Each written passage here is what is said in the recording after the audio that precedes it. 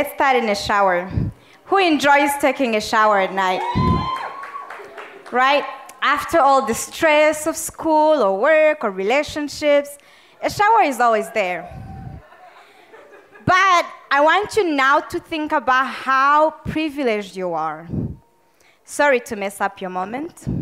But in your eight minutes of bliss under a shower, especially one of these nice rainmaker showers, you have managed to use double the amount of water the average African has access to. And the beauty of it all is you didn't have to work for that water. You barely thought about how that water got in your shower. I mean, it's about time to relax, not to think about all the world problems that need to be solved. But the reality is, the average African woman would have to walk between one hour and three hours just to, uh, to fetch the 65 liters you just use in your shower. Collectively, African women are wasting 200 million hours every day looking for water. Sorry, my mic. 200 million hours. To put it in perspective, that's almost half the time that the whole world, globally, Asia, Europe, America, spends on Facebook on a daily basis.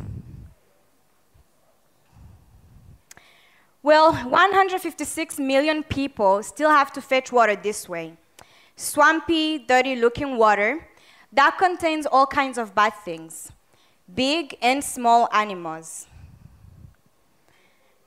Like big animals like crocodiles, which have killed quite a few people, and small animals like E. coli bacteria that kill more people in a day than 10 crocodiles will kill in a lifetime.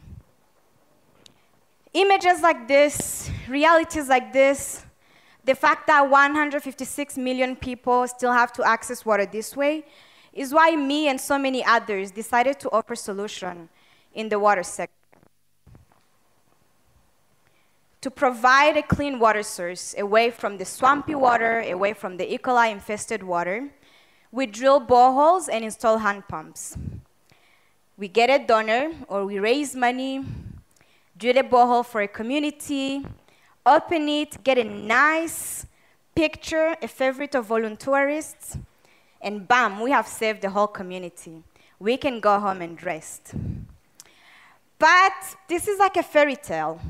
This picture is rarely the ending. And I wish we stayed long enough to witness what happens afterwards.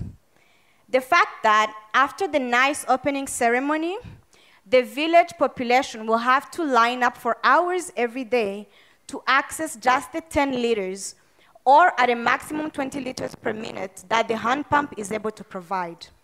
I wish we stayed long enough to witness that. Communities grow, population grows, but hand pumps don't. And on a global map, although this community looks like they have water, this is not real access. It is not convenient, it is not aspirational.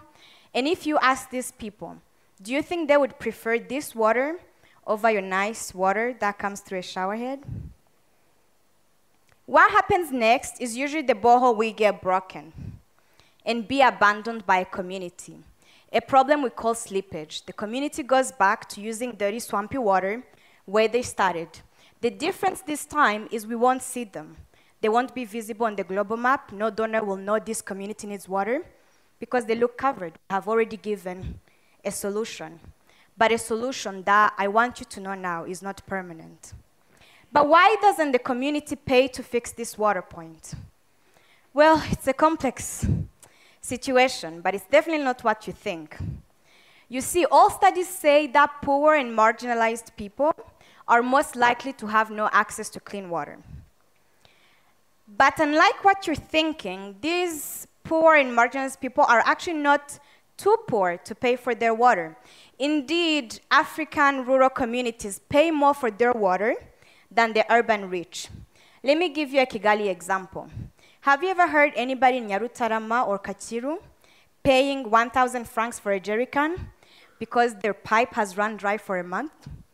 But that's the reality in some other areas of Kigali like Kanombe, Nyamirambo, and other places. While the more urban rich continue to enjoy very cheap piped water, the more peri-urban and rural communities are having to pay more and more and more for their water because service is expensive. For example, in the rural context, in Bugesera, in a, in a sector called Mwogo, I'm very lucky to be working in right now, people used to spend 500 francs for a guy on a bicycle to go get them water in Nyamata. And sometimes the swampy water also runs out. But the good news is those broken boreholes can receive new life. We can actually transform them into something that is aspirational and convenient. And that's exactly what we're doing with our service called Inuma. So Inuma transforms those broken hand pumps that grace the rural areas of Africa into a functional, purified water mini-grid that delivers water in the house so that instead of seeing the sight of kids carrying jerry cans, we can finally see them grabbing a glass in their houses and fetching water, drinking it without giving much thought about where it came from or the hours they're going to have to spend to get it. So today I want to disrupt your thinking. A study by the UN showed that poor people, branded poor communities, are spending 10 to 20 times more on their water than the urban rich, as pointed out. So I want to disrupt your thinking to look at these poor rural communities as markets. Right now in sub-Saharan Africa alone, they represent 456 million people who need water to survive because water is a human right. Unfortunately, one we all don't get to enjoy. If you don't get water, you'll probably die within a few days. But let's see them for once as a market and not as beneficiaries and start asking them what they need. Because in my work, I've never had trouble convincing people to pay for water. They're happy to get a convenient service, one that saves time. Because in the new world we're in, time is the biggest commodity we have. It's the most costly to give away, and unfortunately, we're still losing so much of it, especially for rural African women. We sell the water at public kiosks, but also connect it at home so that they no longer even have to make a short walk because nobody should have to be working for water in the 21st century. But there is a business opportunity, and I don't stand before you today as an NGO, I'm actually an entrepreneur. And entrepreneurship, by my definition and by many books' definition, is answering a customer need and making money doing it. Communities that receive our water spend with us about $1 every month. Once they have water in their own homes, they go from spending that $1 a month to spending 5 to $10 each month buying our water, which pays back the cost of doing the new infrastructure within two or seven years in less populated areas.